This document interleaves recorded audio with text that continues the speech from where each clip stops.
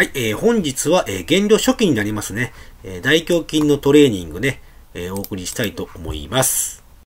1種目目は基本的に、え、プレス系ですね。プレス系で、え、高重量を扱う種目になります、え。この日はですね、スミスのインクラインベンチプレスですね。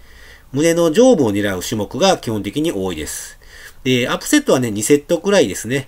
えー、2セットぐらいやった後にインターバル3、4分結構長めに取りながら、高重量、はい、あのー、6回から8回ぐらいを狙っていきます。で、肩はね、痛みやすいので、僕基本的にはですね、胸までね、シャフトは下ろさないようにしてます。あと、追い込むセットは、まあ、最終セットぐらいですね。続いて2種目目ですね。プレスの後はね、こうフライ系でストレッチ狙った種目が多いですね。で、インクラインでね、上部を狙った種目になります。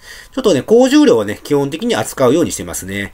で、下ろすときは胸の外側に負荷を感じながら、とりあえずゆっくりですね。ゆっくりとストレッチを感じながら下ろすようにしてます。そしてそれなりの重量を扱ってますので、肘はね、畳みながら、えー、肩に負担をかけないようにね、行うようにしてますね。で、これもね、できるだけ自分は重量を扱う種目にしています。これが40キロですね。はい。この日はね、もうインクラインを3セットやりましたけど、その日の気分次第でアンダーグリップでやったりとか、フラットでやったりとかね、結構バリエーションをいろいろやりながらやってます。続いて3種目目ですね。デクライン狙いね。胸の下部を狙った種目を入れています。これはプレスですね。